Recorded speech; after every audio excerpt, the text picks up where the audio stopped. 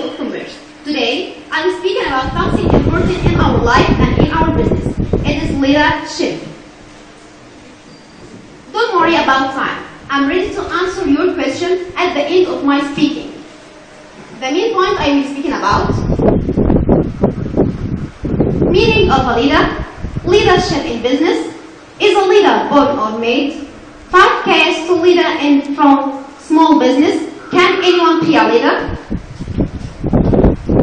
Everything has a leader, ship, company, and family.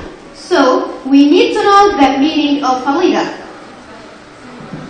A leader is someone who people trust and follow his steps, inspiration and director of the action.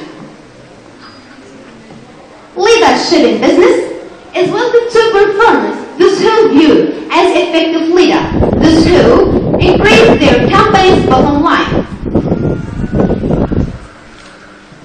There is a question. Is a leader born or made? People who seem to be naturally endowed for leadership abilities than others. Leader by improving particular, particular leadership skills like ability to think and put plan.